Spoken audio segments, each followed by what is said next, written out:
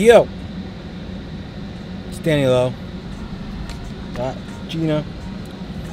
Um, we're down on Long Island with the TTRS. And uh, we're about to head to um, the shop. Got some APR goodies in the trunk.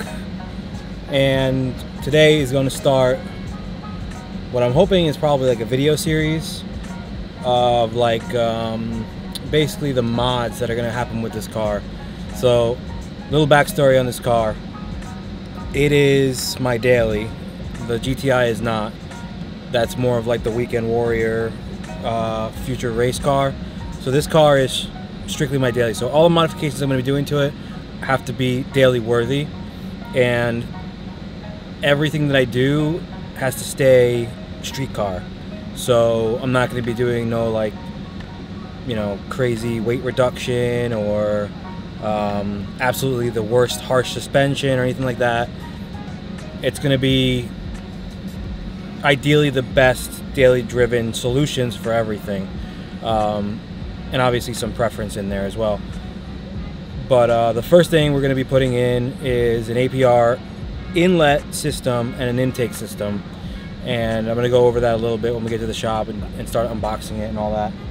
But um, I think I'm gonna call this series like Road to 10 Seconds or Road to 9 Seconds.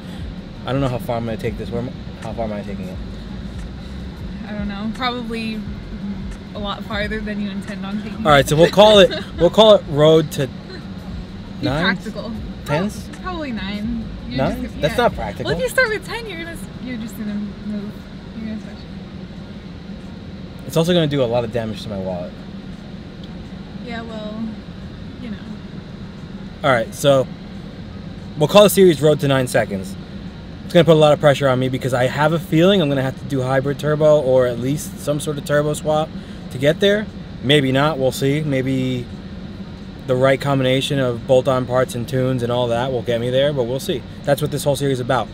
I'm learning when you guys are learning, so you know, each time I get a new part and I go install it, I'll detail it and put it out there for you and explain my reasons behind why I bought it and just you know answer your questions. If you guys have any uh, stuff you want to put in the comments that you want me to answer to, go right ahead. Uh, I'm pretty open, so all right, to the shop.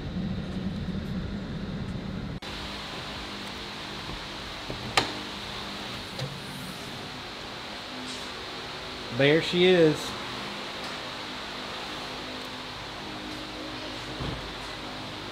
So, what we're going to be replacing today is this, this, and this, and everything all the way back to the turbo inlet with APR stuff.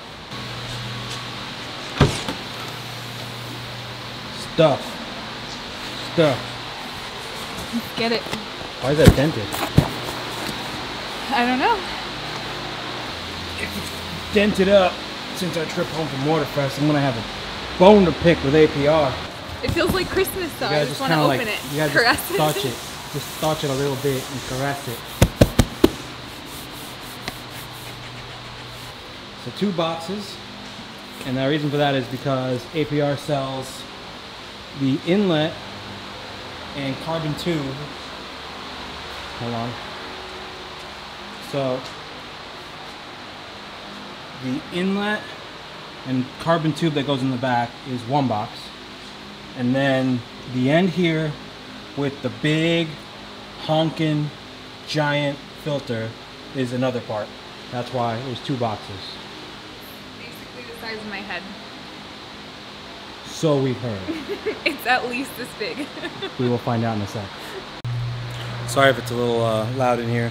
There's fans up there and AC machines going over there, so there's a lot of like humming. It's a busy Saturday at the shop. And it's Hot. hot. Hot. Yeah, because we had to cut that fan off over there just because it was a little too loud. Pressing on. All right, gonna grab myself a nice. Which one do you want to do first? Just leave it. Leave it right there. Leave it it? right there. Okay. Let's do this one first.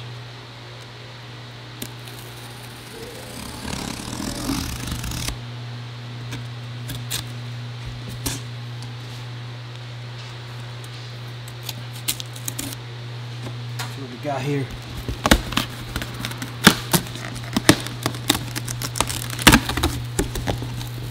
Oh, sweet packing peanuts.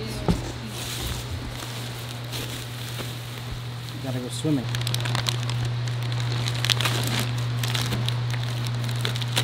This filter is absolutely insanity. Massive. Check that in the box over there. Okay, give me that. Put it up to your head. Gina's head for scale. Like literally It's so big. almost fit my head in it. it's pretty huge. All right, so to recap, inlet, cast inlet with stock turbo adapter. Uh, APR makes other adapters for different turbos, and I'm considering, uh, rather, they're going to be making more, and then for bigger turbos. And then you get the adapters, the couplers rather, hoses, probably for PCV stuff. The inlet pipe that comes off the cast inlet, and then the intake system, which is fancy word for filter on a stick, is this big curve that serves to adapt this giant filter with this coupler. So.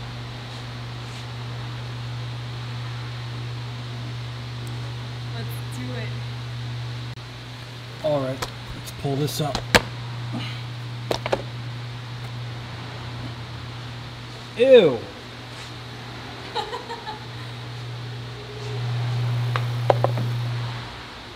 I can't believe these newer cars, man.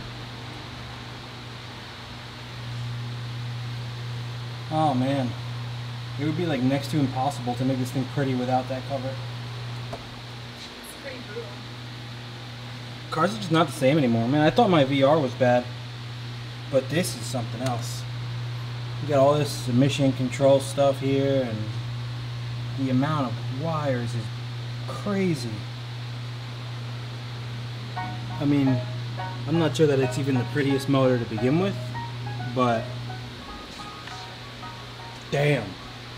All right, update. Um, it's hot as hell, as you probably can tell. Um, majority of stuff's out. Inlet, which this thing here, by the way, I think I might be able to retain it to get a little bit of fresh air towards the filter, but we'll see that later. So airbox is out. I gotta remove this plate because I'm sure we're not gonna need it. Uh, stock intake tube is out. This was a little bit of a pain. Ended up actually taking out this whole assembly here so I could work this on the bench because this plastic here tends to be very brittle. It's like beige plastic. So got that off by working this here, this clamp. And then, what's up? it's my brother-in-law, Danny. Um, leaving? Oh, okay. Cool. See you later. I'll see you later. Uh, where was I? Where was I? Ew. You should talk. Disgusting. Oh yeah, so yeah, had to work this clamp. Took it all out, this whole assembly out, make it easier so that you don't break this plastic. Very brittle. Okay. Intake tubes out. Last thing to do is take the inlet out, which that looks like a boatload of fun. I'm pretty sure I have to put the car up on the lift and get underneath it, which is fun because the splash panel in this car has about 150,000 bolts to it. So that's always fun. Got to get this T30 way down there to get this uh, airline off of the wastegate actuator. And that's where we're at. So keep pressing on.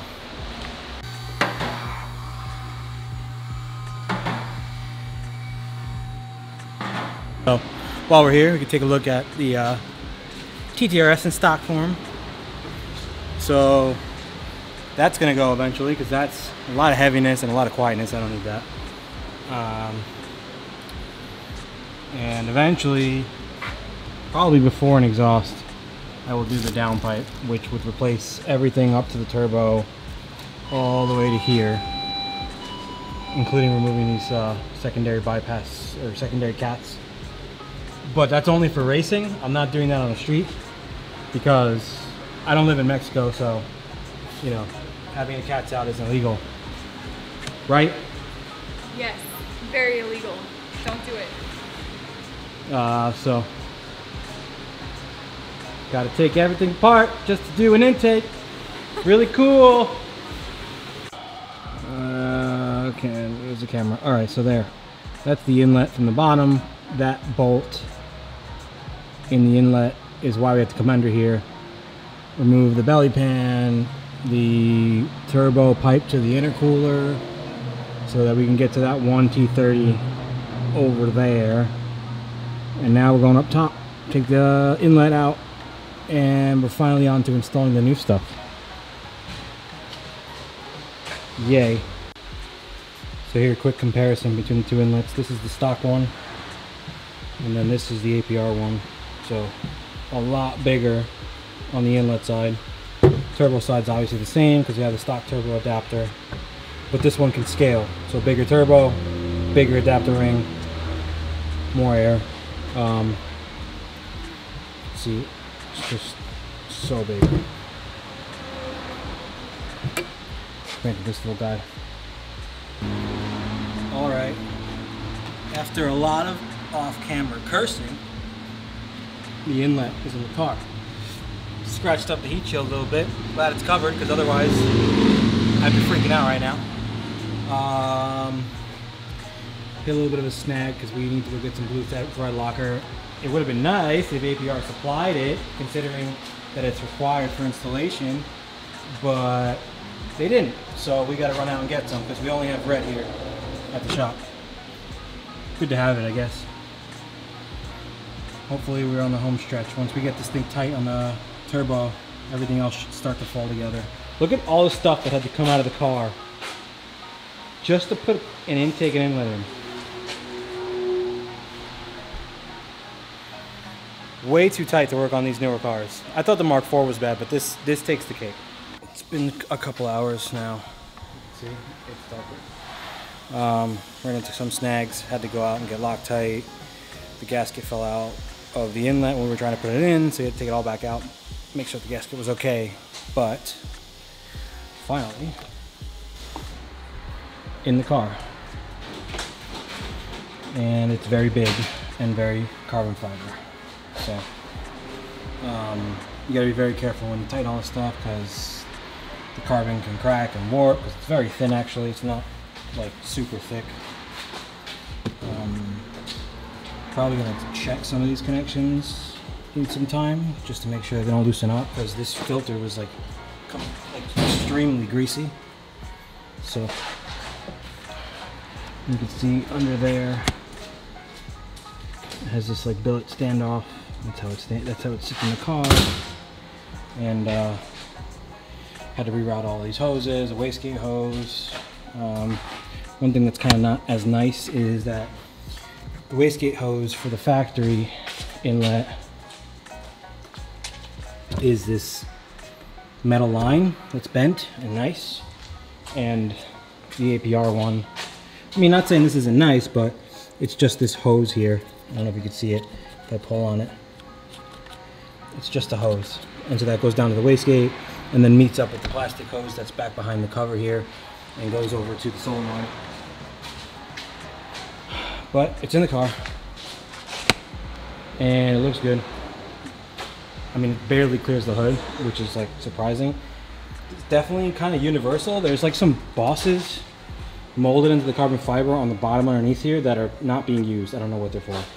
So this must be used on another car and I don't know which one but there it is.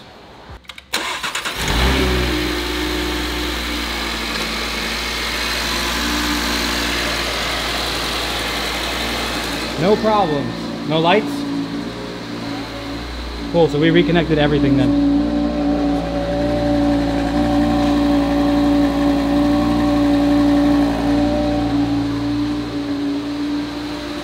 Give it a little sucky sucky.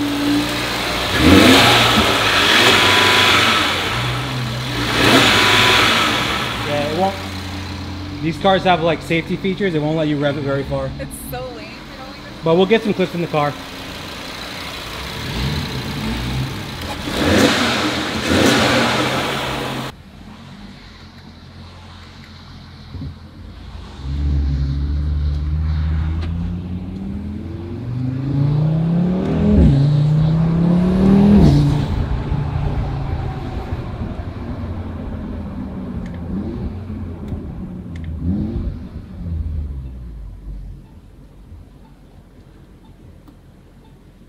You can hear the difference. Yeah, it's making some some cool noises.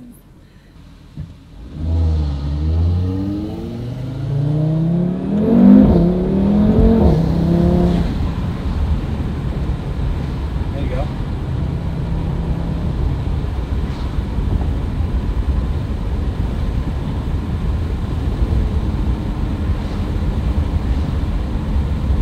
You can hear a little bit there. Try. See if the camera picks it up, but.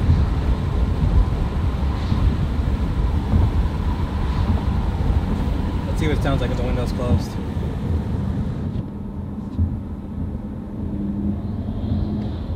Ooh. Ooh. I wonder if you can pick that up on the on the microphone.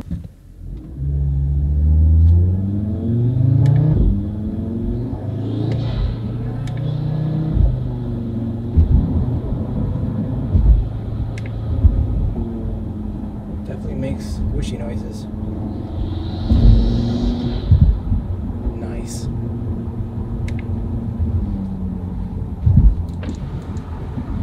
Hear more with the windows closed, actually.